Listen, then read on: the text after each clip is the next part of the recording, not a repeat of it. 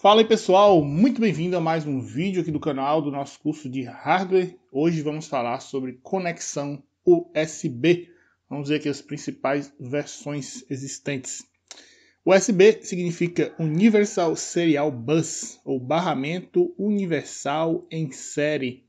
Alguns falam barramento serial universal, que também é a mesma coisa, mas é, só queria frisar que em português não existe a palavra serial, né? É, em, em, português a gente fala em série, né? transmissão em série. É, é um padrão que foi criado para padronizar conexões entre dispositivos. Aqui nós temos o símbolo dele, quando tiver esse símbolozinho aqui, significa que é uma, uma conexão USB. Então, ele é utilizado aí em diversos dispositivos. Acho que todo mundo já conhece isso, a maioria das pessoas já conhece câmeras digitais, HD externo, mouse, teclado, impressora, televisão, computadores, enfim. Né, ele, ele, ele é padrão aí de transmissão de dados já há algum tempo e ele veio basicamente para isso mesmo, para poder padronizar a transmissão. Bom, como eu disse, ele é uma transmissão em série, isso quer dizer que os bits são transmitidos um atrás do outro, diferente da transmissão paralela em que são transmitido pacotes de bits ao mesmo tempo.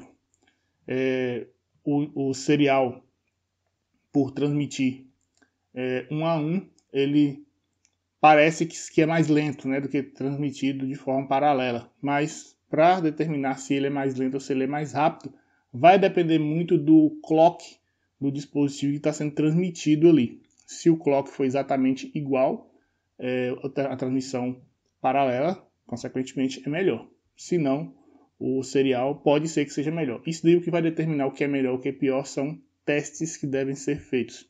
Existe também nas transmissões de dados a questão da atenuação de sinal ou perda de pacotes, né? perda de bits. A atenuação é quando o sinal vai ficando mais fraco e, consequentemente, vai perdendo dados. Então, tem uma série de coisas que determina se ele vai ser melhor ou não. Mas, enfim, vamos falar aqui do, do, do USB.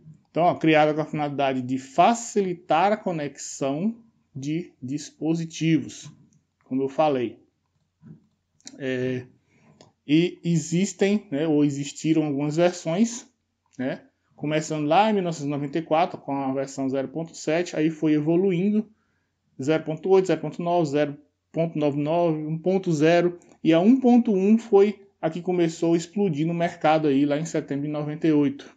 Em 2000 surgiu a versão 2.0, que também foi a que teve um grande boom no mercado. Então foram essas duas versões aqui que, que cresceram o padrão, fez que o padrão ficasse conhecido. É, em novembro de 2008 foi lançada a versão 3.0 e em sequência veio a 3.1 em 2013 e em 2017 a versão 3.2.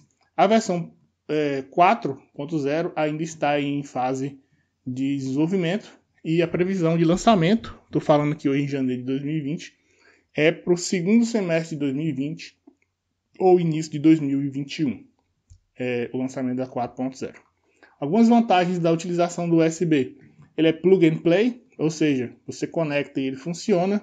Para quem é mais antigo da informática, e nem sempre foi assim. Quando a gente precisava instalar, por exemplo, uma nova impressora, é, lá na época do Windows 98, Windows 2000, até o Windows XP, é, dependendo do, da, do equipamento. A gente tem um galo cantando, vocês estão por ouvir, mas enfim. dependendo do equipamento, a gente tinha que reiniciar o computador, instalar os drivers para ele funcionar direitinho, senão não funcionava.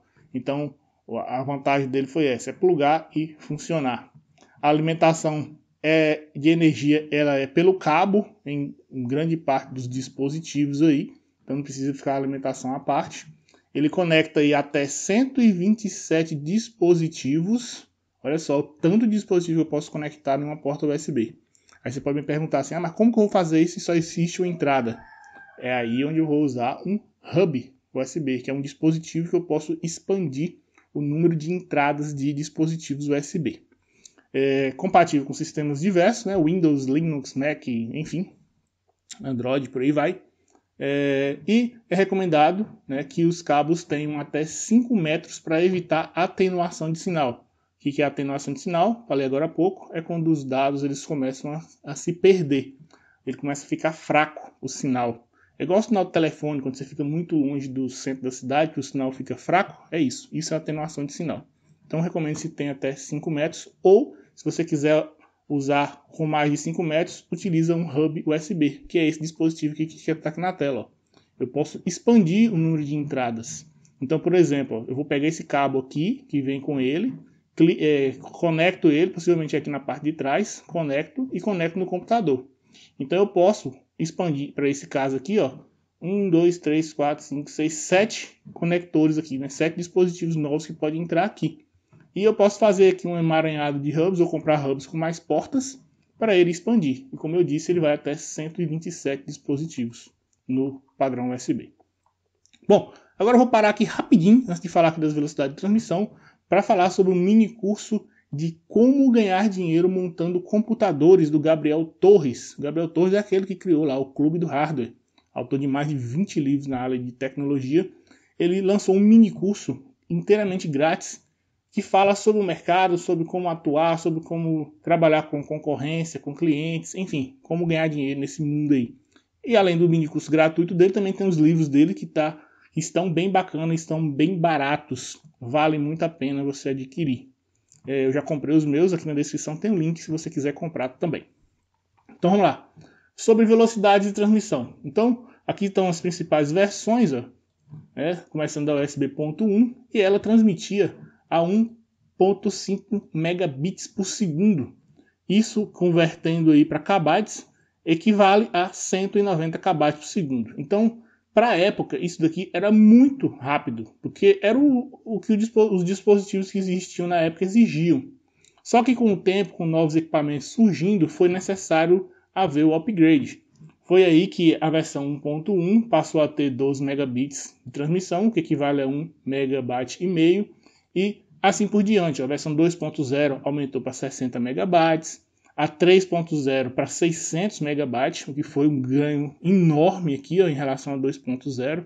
A versão 3.1 ele dobrou a, essa taxa de transmissão e a versão 3.2 dobrou novamente.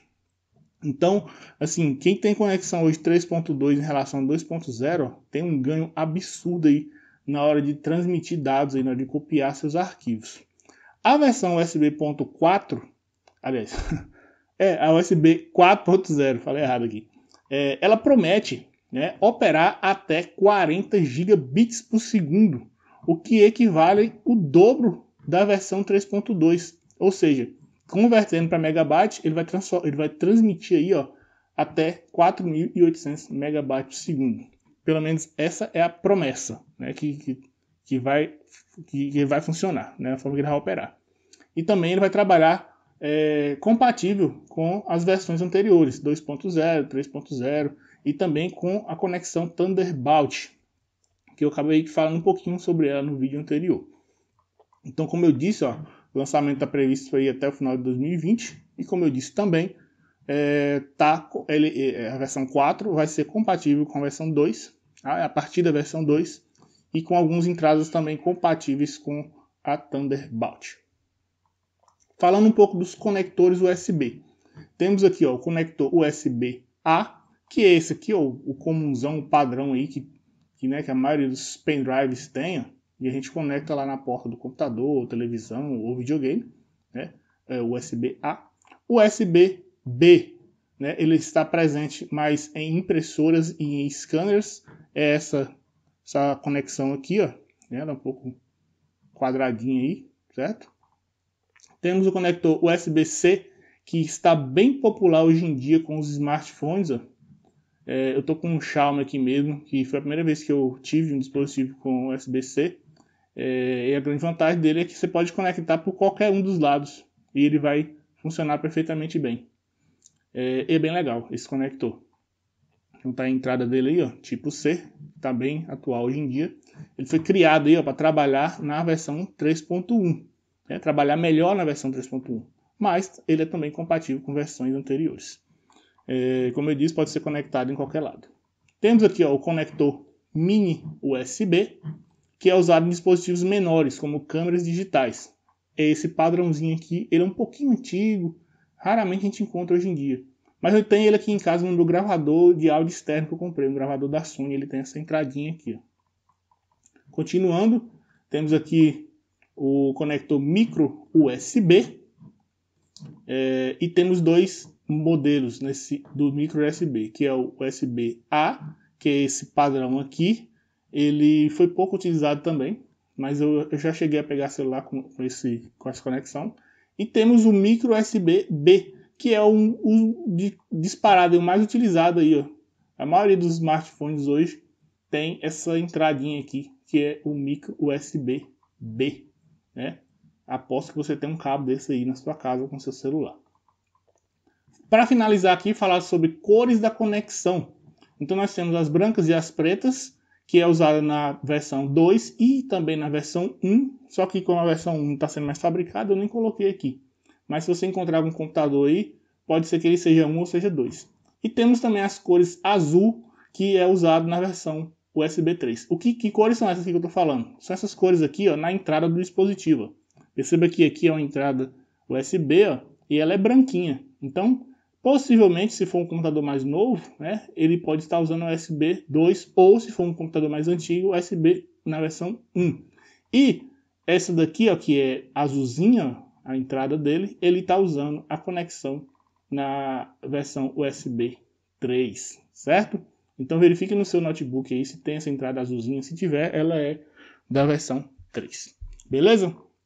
Então, pessoal, no vídeo de hoje era, esse, era isso que eu tinha que falar para vocês. É, espero que tenha sido claro as minhas explicações. Foi um basicão mesmo de como funciona o USB, o que, que é o USB. É, eu estou voltando com essa série de vídeos sobre hardware e vai ter muito mais aí no decorrer do ano. É, se você gostou, por favor, inscreva-se no canal para você poder acompanhar novos vídeos, habilite o sininho aí de, de, notificação e compartilhe esse vídeo no grupo dos amigos aí que gostam de manutenção, gostam de computadores, gostam de aprender um pouco mais, certo? Para ajudar o canal aí a crescer e chegar nos 100 mil inscritos. Um grande abraço para vocês e até o próximo vídeo. Tchau!